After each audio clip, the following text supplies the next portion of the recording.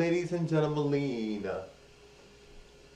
Now, guys, Melina just wants to say here that someone always there's someone that's always saying, "How can anyone be mean to you? You're such a sweetie." And like, I mean, like my videos are just so cute. I just feel like they're adorable. I, I, I so I feel like I look like a little boy, but obviously I look like a very handsome man. But and then Melina looks like a very gorgeous woman. But just my persona and the way that I carry myself, it sounds sounds very childish at times.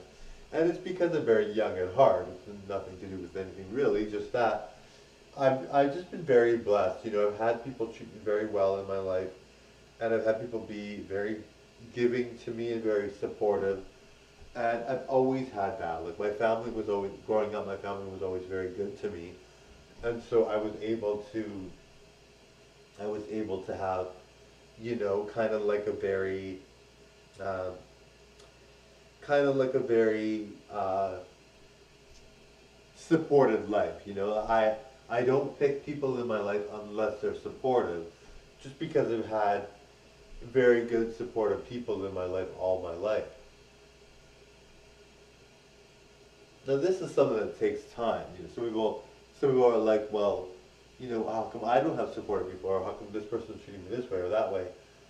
And I don't know why they're doing that, but w- what's going on here? And I'm like, well, there have been many times where I had been, uh, you know, with people that weren't supportive, but that was in my younger days, right? Like I'm, th- I'm 42 now. I'm not going to choose someone in my life unless they're supportive and they're people that I want in my life.